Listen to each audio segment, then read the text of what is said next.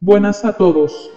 Soy Marcelo Bolche y hoy es una de esas fechas que marcaron el rumbo de las mayorías explotadas.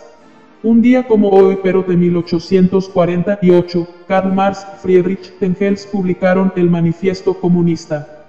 El Manifiesto Comunista cumple 176 años de su publicación. Karl Marx, Friedrich Engels publicaron el Manifiesto Comunista en 1848 la cual es una de las obras políticas más influyentes de la historia.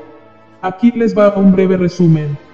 Karl Marx, Friedrich Engels publicaron el manifiesto en 1848 a pedido de la Liga de los Comunistas de la cual formaban parte.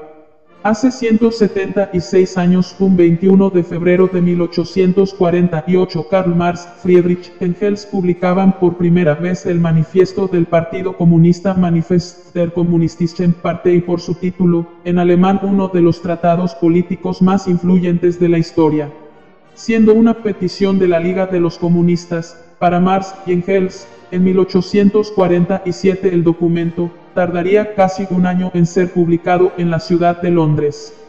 Reconocido mundialmente como el manifiesto comunista entre los aspectos más importantes de este tratado, Marx abarca la existencia de dos clases sociales, la burguesía quienes son los capitalistas modernos dueños del medio de producción social los cuales emplean trabajo asalariado y el proletariado es decir aquellos trabajadores asalariados quienes son obligados a vender su fuerza de trabajo al no disponer de medios de producción propios.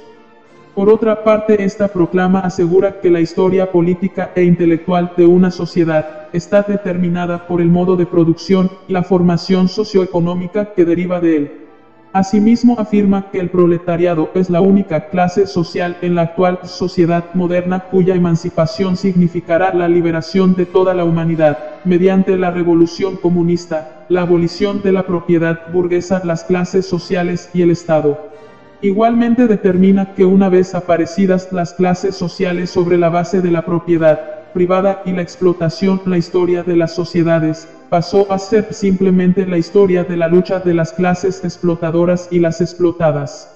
Estos preceptos no solo fueron revolucionarios para su época, sino que sus ideas han tenido un fuerte impacto en el desarrollo de la historia mundial.